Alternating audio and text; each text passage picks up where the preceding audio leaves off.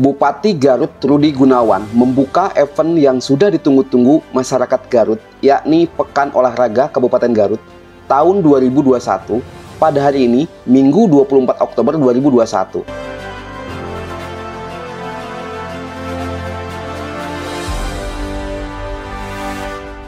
Diketahui Porkap Garut juga sebagai ajang pencarian bakat atlet-atlet muda untuk nantinya diikut sertakan dalam Pekan Olahraga Daerah yang akan digelar tahun 2022 nanti.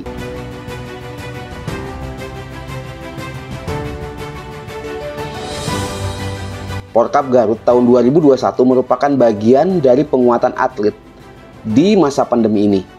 Namun sarana di tiap kecamatan kurang. Ya ini kan uh, kita pembukaan Porkap lah ya. Jadi kita berharap bahwa ini merupakan bagian dari menguatkan atlet kita di masa pandemi ini tetap semangat. Kan pembelajaran itu tidak boleh terhenti kan. Harapannya seperti apa Bupati dengan anak ini? Ada ini, ada bibit-bibit yang bagus ya. Tapi kita sarananya kurang di kecamatan. Sarana kita kurang di kecamatan. Begitu. Jadi gimana ya. Bupati sarana Ya kita harus ada anggaran yang ke kecamatan itu. Jadi kalau di atletik di kecamatan kan harus bagus, jadi jangan bulu yuduk. Terus Pak Bupati gimana? Uh, dengan anggaran tersebut Bupati akan support? Iya, iya akan support sampai 2023 lah. 2012 kan udah selesai ya.